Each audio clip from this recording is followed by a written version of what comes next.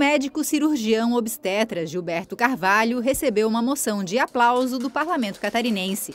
Morador de Santa Cecília, no Planalto Serrano, ele atua na medicina há quase 40 anos. Nesse período, realizou mais de 20 mil cirurgias e 8 mil partos, auxiliando a população de vários municípios da região. Eu fui um pioneiro e continuo trabalhando e fico assim muito grato, muito contente, porque assim que 8 mil catarinenses nasceram comigo.